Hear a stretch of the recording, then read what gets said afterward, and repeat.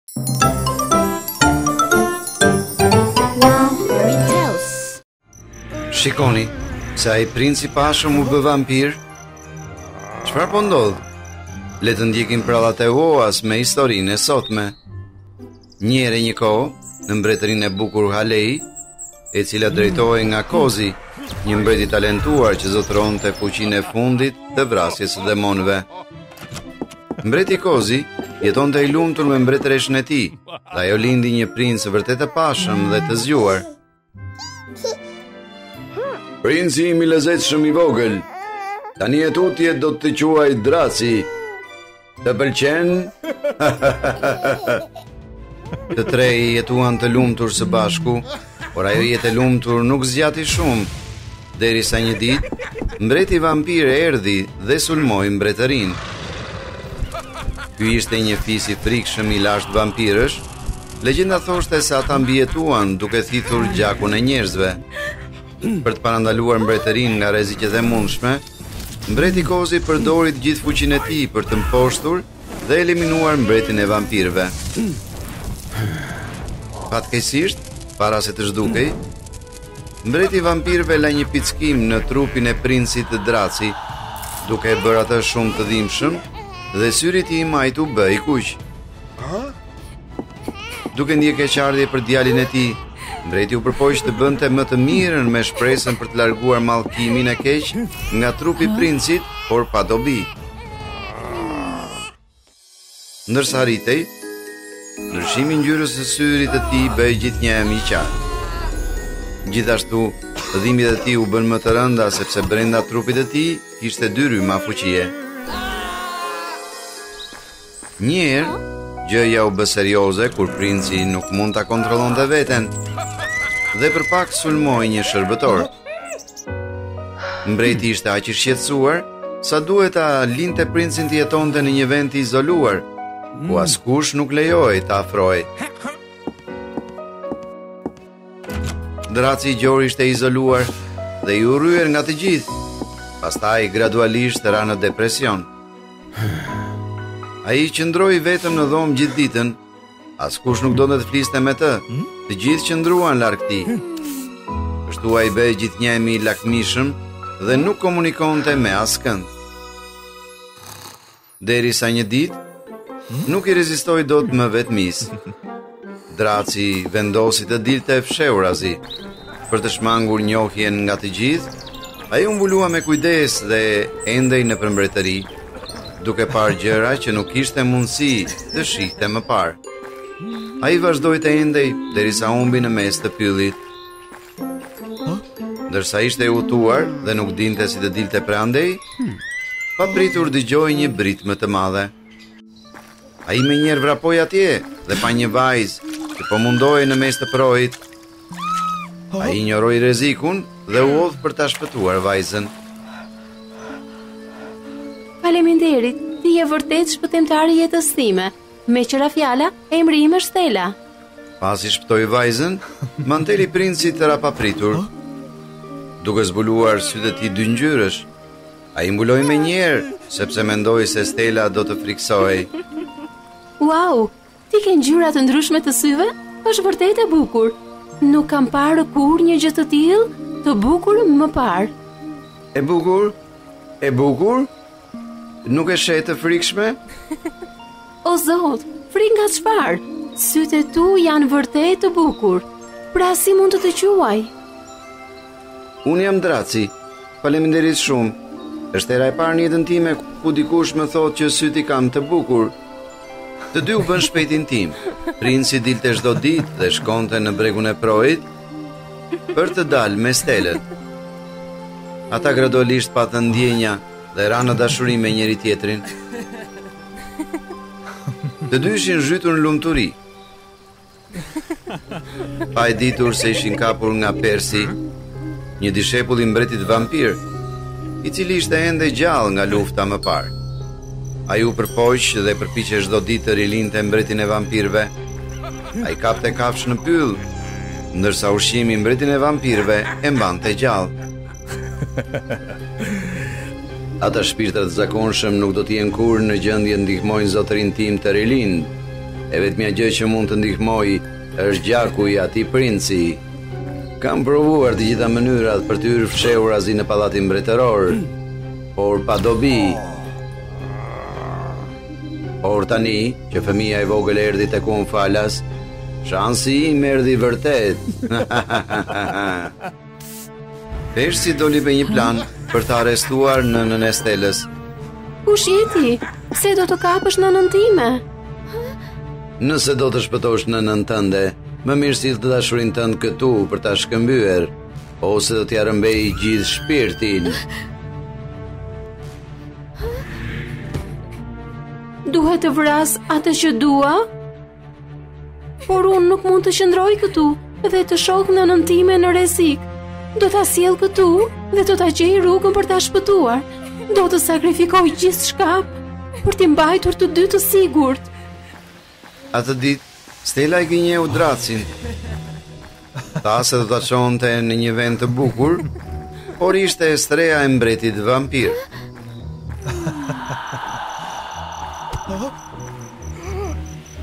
Mbreti i vampirëve qeshi me të madhe. Ai e shtyu menjëherë Stelën larg dhe nxitoi atje për të sulmuar Dracin.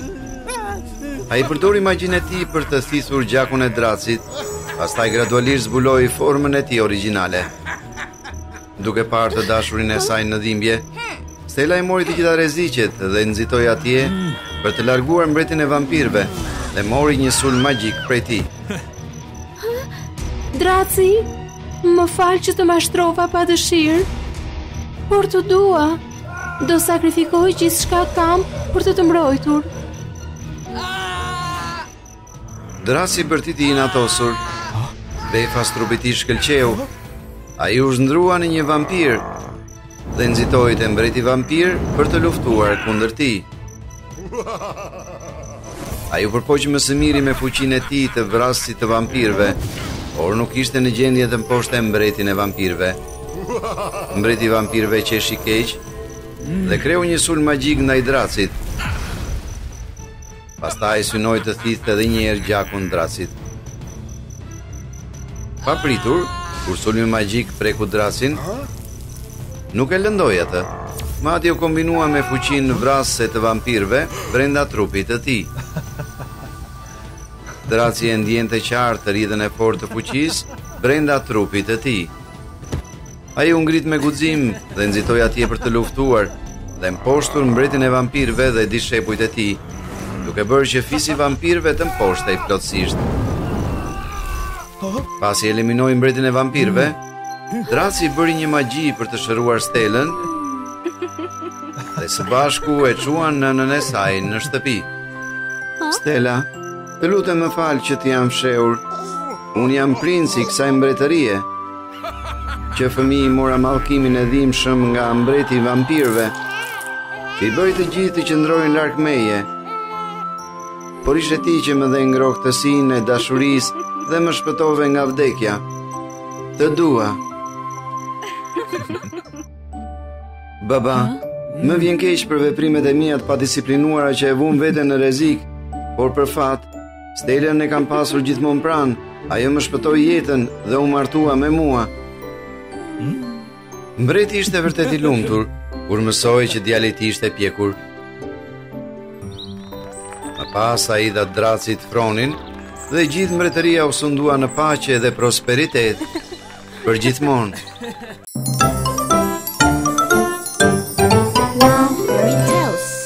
E keni menduar ndonjëherë se çfarë do të ndodhte nëse ai që gjeti këpucën e xhamit të Hirushes të mos ishte princi, por një shtrigë e keqe? Le ta zbulojmë në historinë e sotme me përrallat e Woas. Një herë e një kohë, në një fshat të qetë, jetonte një vajzë e bukur dhe e përgjegjshme me emrin Ela, e cila njihej edhe si Hirushja. Që kur ishte fëmijë, ajo ishte përkëdhelur shumë nga prindërit e saj.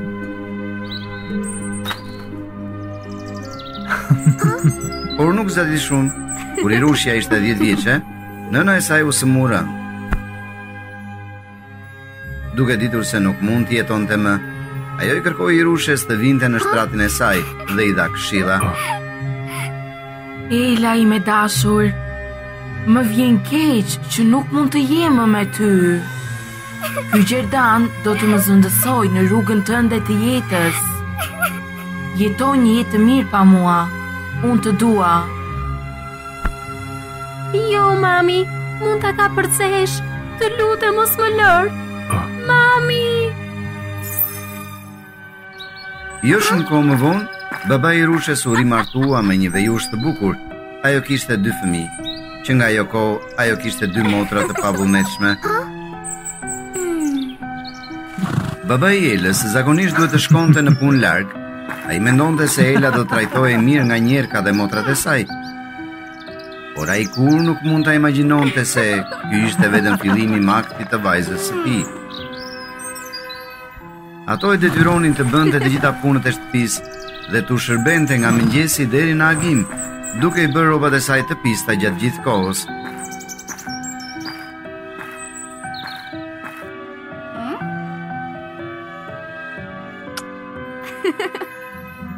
Ela, a e di sa është ora? Ku është mëngjesi im? Ku është uji? Duhet të laj fytyrën. Erdha, gjithçka është gati. Ela duhet të punonte çdo ditë, nga mëngjesi deri në agim. I vetmi ngushëllim i saj ishte Rajani, një djalë që ishte fqinji i saj dhe gjithashtu i dashuri i saj. Të dy ishin rritur së bashku dhe dashuria e tyre bëhej më e thellë dita ditës.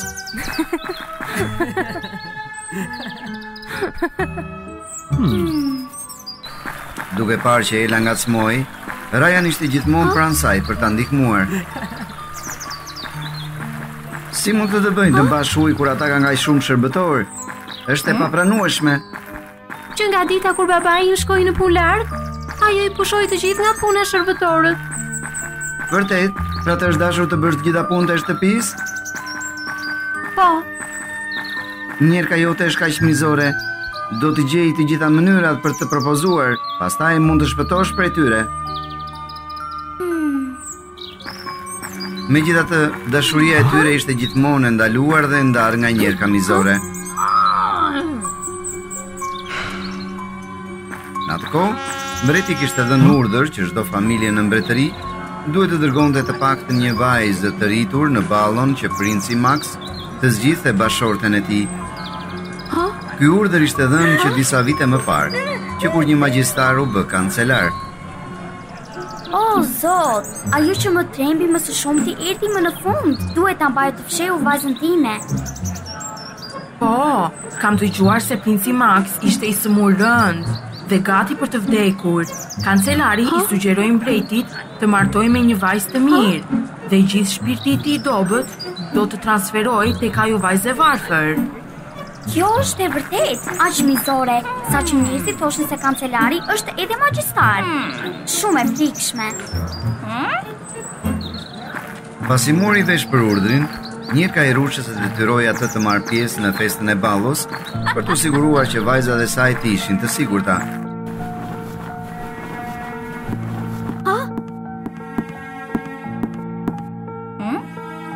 Ela, mbreti është gati të festojë një ballo për të zgjedhur një grua për princin Max.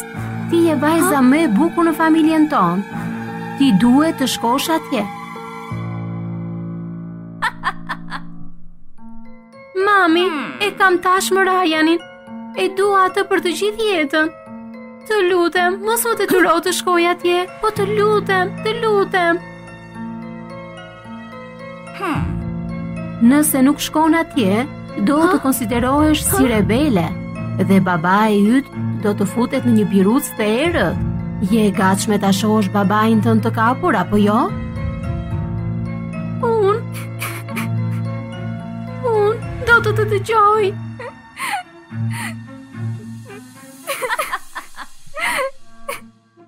Hmm?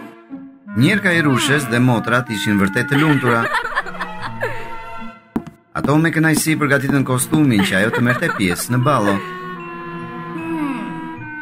Ha ha ha, dy zogj, një gur, jo vetëm që mund ta dërgoj larg, por edhe të gjitha provat e atij plaku mund t'i mbaj për vete.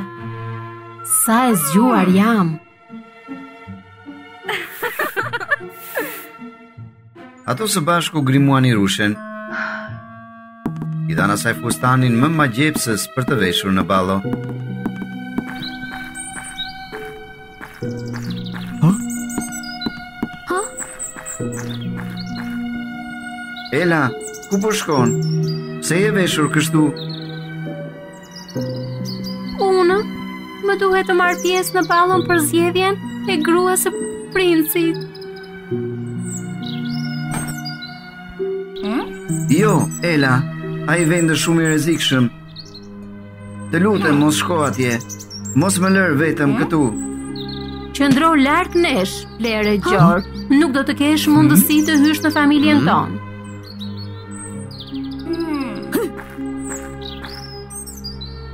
Nëse nuk shkoj atje, hmm. babai im do të jetë në rrezik. Të lutem të jesh i sigurt. Ka shumë vajza të bukura atje. Hmm. Nuk do të zgjidhem. Do të kthehem hmm. këtu me ty.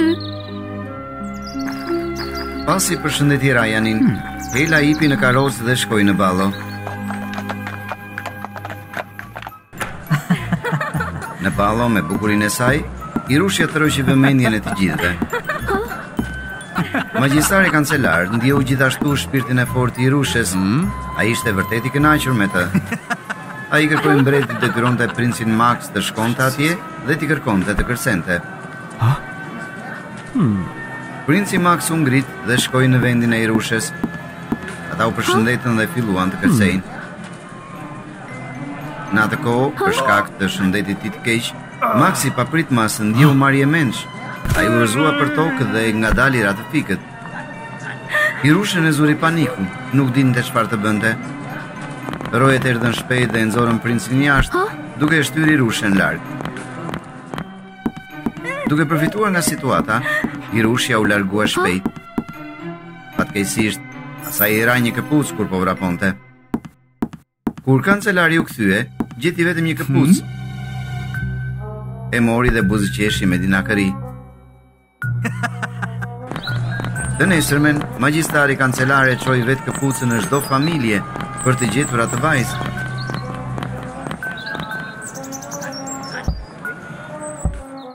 Dhe njerka e detyroi Elën të provonte këpucën.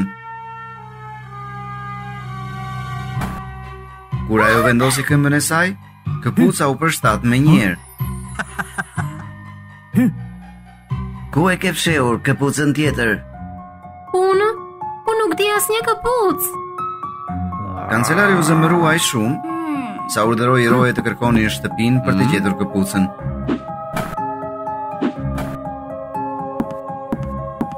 Kjo është këpuca tjetër. Mami, si mund ta kesh atë? Hmm. Dje, të pashë duke fshehur këpucën pas mbrëmjes së hmm? ballos. Tani nuk ke se si ta mohosh. Hirushja u detyrua të vishte të dyja këpucët, Kur i vishte i shkëlqente i gjithë trupi, por vetëm kancelari e shihte. Ai buzëqeshi me dinakëri, më në fund mund të gjente të përshtatshmen, ai urdhëroi rojet të çonin Hirushen në pallat. Ajo u dërgua në një dhomë, e ulur pranë princit Max, madje ai urdhëroi ushtarët e tij të lidhnin Elën, Kur ai ishte gati të transferonte shpirtin jetësor të Elës mhm. për të shpëtuar princin Max, dëgjoi një zhurmë të madhe jashtë, duke e shpërqendruar atë.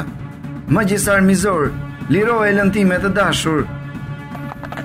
Doli që kur Ela ishte kapur, Rajani e mhm. ndoqi fshehurazi. Rahu një roje, mori rrobat e tij dhe u përzie me turmën e tyre. Duke parë të dashurën e tij të lidhur, Rajani i zemëruar nxitoi te kancelari dhe e sulmoi. Megjithatë, ai nuk kishte asnjë shans për të fituar kundër magjistarit kancelar. Rajani u godit nga një dritë magjike, u rrëzua dhe u plagos rëndë.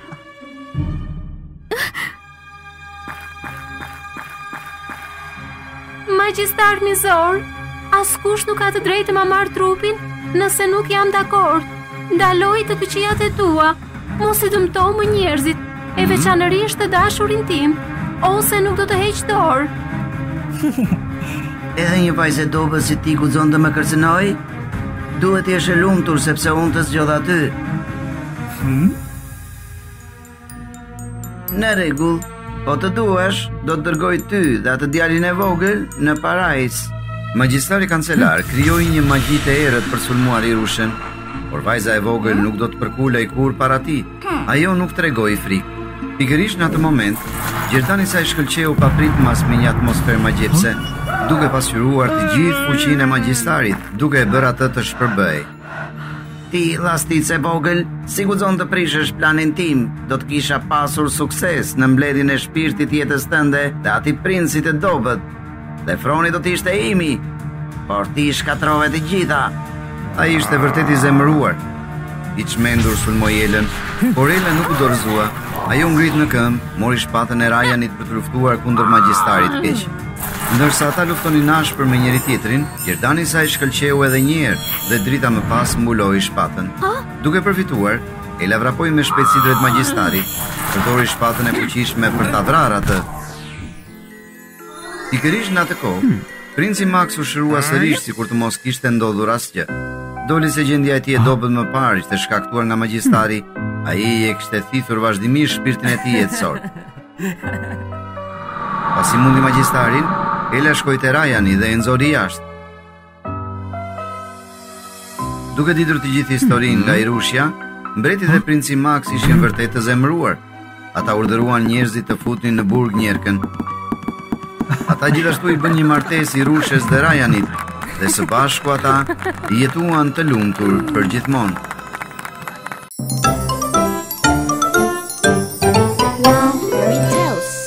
Ajo dritë magjike duket se po shkëmben bashkë këto dy zemra të ftohta dhe të ngrohta të këtyre vajzave. Ato duken se janë shumë të kënaqura me këtë, por a ishte zgjidhja e duhur? Le ta zbulojmë me përrallat e Woas. Në një mbretëri jetonte një princeshë e bukur dhe e fortë me emrin Mei. Megjithatë, ajo sillej si komandante, nuk kujdesej kurrë për ndjenjat e njerëzve të tjerë, dhe gjithmonë e konsideronte veten më të mirë, kështu që të gjithë në mbretëri e urrenin. Mei, nuk duhet të jesh kaq e mërzitur me shërbëtoren. Ne duhet të falim dhe të ndihmojmë njëri-tjetrin. Jo, baba. Ajo guxoi të më ndërpresë ndërsa isha duke pushuar. Ajo meriton dënimin e duhur.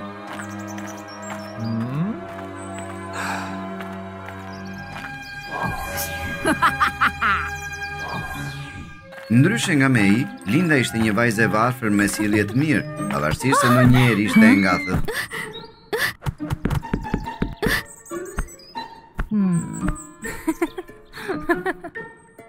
Faleminderit! Je e mirëpritur, ti ke shpenzuar shumë kohë duke ndihmuar njerëzit. Unë dua thjesht të mbështes. Mirëpo ndonjëherë, për shkak të këtij personaliteti, disa njerëz shpesh përfitonin nga Linda për të kërkuar ndihmë, duke bërë atë të mos kishte kohë për të bërë atë që i pëlqente. Atë ditë, ndërsa Linda ishte duke punuar shumë, ajo kalimthi u përplas aksidentalisht me princeshën Mei.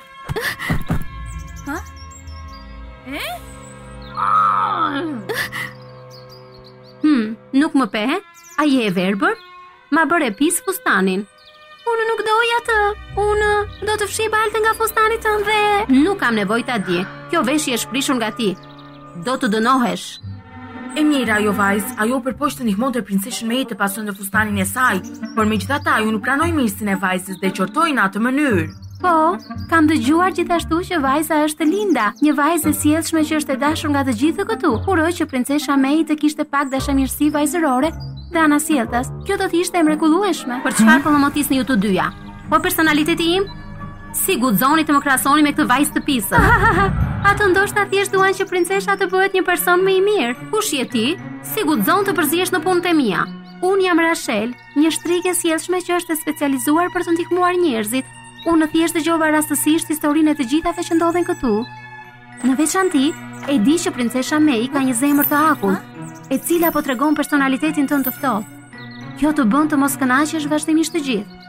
Ashtu si vajza e mirë Linda, ajo ka një zemër të ngrohtë dhe entuziaste, por nuk di të thotë jo. Ndaj pëson gjithmonë humbje. Ashtu është. Unë gjithashtu do të doja të isha më e fortë për të thënë jo, por nuk e di se si. Hm. Këto ditë edhe babai im ankohet më shumë për personalitetin tim. Por nuk është aq e thjeshtë ta ndryshoj atë. Ah, nuk the se je një shtrigë e mirë? Pra keni ndonjë ide për të më ndihmuar? Sigurisht që dua. Nëse të dyja jeni dakord, atëherë unë do të përdor magjinë time për t'ju ndihmuar që të dyja të bëheni versioni më i mirë i vetvetes dhe gjithashtu t'ju paralajmëroj që të dyja të kritikoheni ose krahasoheni. Nëse mund të bëhem një version më i mirë, jam dakord. Jemi dakord. Shumë mirë. Atëherë shikoni magjinë time. Më pas, Rasheli ndërroi zemrat e Mei dhe Lindës me njëra-tjetrën. Mei kishte një zemër të re pasionante, ndërsa Linda kishte një zemër të akullt, më të ashpër. Magjia ka përfunduar. Shpresoj që ju të dyja të shijoni jetën tuaj të re. Mm, faleminderit. Me fuqinë e Rashelit, personalitetet e Mei dhe Lindës u bënë krejtësisht të ndryshme nga më parë. Ha? Ha? Linda ishte e ftohtë, duke refuzuar ofertat njëra pas tjetrës për të gjetur kohë për veten. Dhe Mei ishte e lumtur, duke marrë shumë dashuri dhe vëmendje nga të gjithë. Dhe vetë Mei gjithashtu e kuptoi gradualisht se kur të kujdesej për të tjerët, do të merrte gjëra të mira.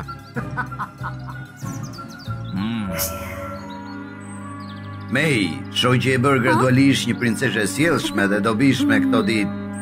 Unë jam shumë i lumtur për ty. Faleminderit mm. shumë. Megjithatë kjo nuk zgjati shumë. Pasi çdo natë, të dyja ndjenin dhimbje gjithnjë e më intensive në gjoks. Mei vendosi të ftojë mm. Lindën për të sqaruar këtë çështje. Mm. Mm. Linda, ha? a ke ndier dhimbje të forta në gjoks kohët e fundit? Po, princeshë, ha? por pse? Diçka duket se nuk shkon në këtë magji që na ndërroi zemrat. Ne duhet të gjejmë Rashelin për ta sqaruar këtë. Pse, a të dhemb pak dhe tani dëshiron të shkëmbesh zemrat? A nuk do të preferoje të kishe një personalitet të sjellshëm dhe të pëlqeheshe nga të gjithë? Jo, më pëlqen shumë kjo zemër e ngrohtë. Më ka sjellë shumë gjëra të mira, por jam shumë e shqetësuar për magjinë e ndërrimit, që po ndikon negativisht në trupin tonë. Kështu që dua të vij me ty për të gjetur Rashelin. Nuk dua. Kam shumë punë për të bërë tani. Ndaj po largohem. Linda, prit. Megjithatë, kur Mei u përpoq të ndalonte Lindën të largohej, të dyja papritmas ndjenë një dhimbje të mprehtë në gjoks dhe u thithën pa dashje në mjegullën e frikshme. Kur u zgjua, Rasheli ishte duke buzëqeshur ligësisht para tyre me një top fuqie zjarri në dorë. Rashel, çfarë po bën? Na liro! T'ju liroj? E si mund të jetë kaq e lehtë? Sidomos kur një shtrigë e errët si unë e ka ndjekur princeshën Mei gjatë gjithë kësaj kohe. Dhe u përpoq të krijonte një plan kaq të përsosur të ndërrimit të zemrës për të marrë fuqi më të madhe zjarri dhe akulli nga ju të dyja. Për të shërbyer dredhinë e radhës, për të kontrolluar mendjen e princeshës Mei dhe për të marrë fronin, do të kalojë shumë kohë para se t'ju liroj ju të dyja. Për më tepër, me pak më shumë forcë nga ju të dyja, unë do ta përfundoj këtë plan. Tani, me bindje dorëzohuni. Duke thënë këtë, Rasheli papritmas qëlloi me magji drejt Lindës për të marrë forcën e mbetur të zemrës së saj të ngrirë. Jo, Linda, Rashel, ndalo. Duhet të kujdesesh për veten pasi personi tjetër do të jesh ti. Ha ha ha ha. A do të përfundojë kështu? Jo, duhet të përpiqem të shpëtoj veten. Dhe Lindën e gjorë. Pasi u çlirua nga skllavëria, Mei përdori shpejt shpatën e saj të shkurtër për të shpëtuar Lindën. Linda, A je mirë? Rashel, ndalo së sulmuari dhe mjaft na zbraze fuqinë. Epo, nuk do të ndalem kurrë. Dhe nëse do të jesh një hero i tillë, atëherë unë do të marr fuqinë e zjarrit nga ti së pari dhe më pas do të mbledh fuqinë e akullit nga Linda për t'ju kontrolluar plotësisht. Sapo mbaroi së foluri, Rashel sulmoi Mein me një top zjarri dhe Mei u përpoq t'i rezistonte. Sa për Lindën, teksa po rrëzohej e dobët, Ajo ishte dëshmitare e përleshjes së guximshme të Meit me Rashelin në atë kohë. Princeshë Mei, më ndihmo. Ajo kishte të drejtë që kishte dyshime për magjinë e ndërrimit të zemrës, por unë refuzova ta ndihmoja. Unë isha shumë e ftohtë dhe mendova vetëm për veten time. Nuk lëndova askënd por veten time. Për më tepër, Mei po përpiqet të më mbrojë mua. Unë nuk mund ta lejoj të sakrifikojë. Më duhet ta ndihmoj princeshën Mei. Duke e menduar këtë, ha? Linda e detyroi veten të nxitonte në vendin e Meit për ta mbështetur, pavarësisht nga flakët magjike të Rashelit që i rrethonin të dyja, ato përsëri u përpoqën të luftonin së bashku. Papritur një dritë e çuditshme rrezatoi, kur Mei dhe Linda prekën njëra-tjetrën dhe i ndihmuan të dyja zemrat të bëheshin harmonike, duke balancuar fuqinë e zjarrit dhe akullit. Çfarë ndodhi? Nuk e di, ki kujdes. Ha? Ha? Ha? Mm. Ha? Ha? Ha? Rezulton se kjo është fuqia e kombinuar e zjarrit dhe akullit midis ne të dyjave. Ndoshta, le ta mposhtim Rashelin. Më pas, mm. Mei dhe Linda bashkuan forcat kundër sulmeve të Rashelit. Me vullnetin dhe vendosmërinë e bashkuar të dy vajzave, Rashel nuk ishte në gjendje t'i mposhte ato dhe mori një fund të dhimbshëm. Jo! Menjëherë pas mposhtjes së Rashelit, Mei dhe Linda u çuan në shtëpi nga drita magjike. Ne jemi në shtëpi Mei, e drejtë, dhe gjithashtu pas betejës me Rashelin, kuptova se secila prej nesh duhet të ketë një personalitet harmonik.